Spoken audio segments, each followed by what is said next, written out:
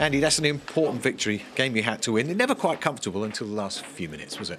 Yeah, it was. To be honest, it was never comfortable. Um, you know, we've played better this season, of course we have, but uh, you know, we took our chances at the right time. I think we always felt kind of in control. Um, don't really remember Alisson having you know much saves to make, and you know we had a few chances. Um, you know, and obviously this man put two away. You know, he's unstoppable just now, and um, you know when you've got people playing with that confidence, and we always believe that we can score goals.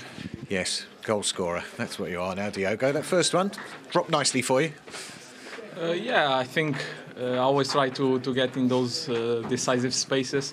Uh, I was lucky enough the ball to, to be there right time, put it in. Important always to, to score first. It gives us uh, always a bit more confidence, and then. Uh, yeah, never easy, but we killed the game uh, right in the end. Yeah, you, you've got the knack of just being in the right place at the right time at the moment. What is it now? 17 goals this season, 12 in the Premier League. That's pretty. It's pretty good. Yeah, obviously it's my, my best so far. I want to keep heading, keep helping the team. That's uh, the most important. Yeah, when we when you joined, there was a lot of talk about how you would get into the side, break into the, that front three. The goals have answered that, haven't they? Well, yeah, obviously established uh, front three, but uh, I think we always need to try to, to improve. Uh, we have more options now. I think it's good for, for, for the team. Uh, we have a lot of games. Everyone will be important at some point. Yeah, and Diogo scored two. You hit the post.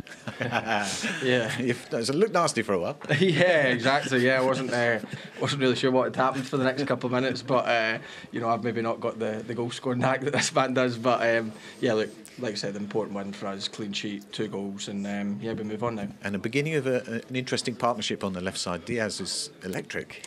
Yeah. Um, you know, my, my Spanish isn't great. I don't think his Scottish is, is, is quite up to scratch, but we made it work today. Um, obviously, you know, my partnership with Sadio over the last five years has, um, you know, been, you know, it's been special playing with him, and he'll come back full of confidence, you know, winning a winning a major trophy for his for his country, and like Jot said, you know, we've got options, and um, you know that's the most important thing. You know, we've got options to bring off the bench. You've seen, you know, a really strong bench today. Um, Hendo just missed out. We've got Sadio still to come back. You know, a couple of lads get left out, but you know that's what we've you know we've got competition all over the park, and yeah.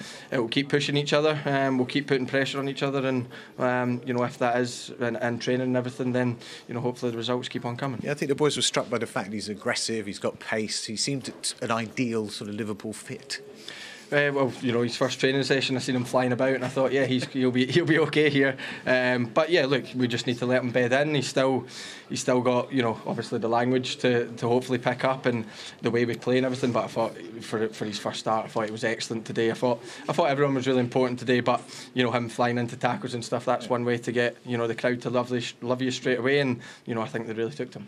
Keeps Manchester City honest. I'm going to be saying this for the next few weeks, aren't we?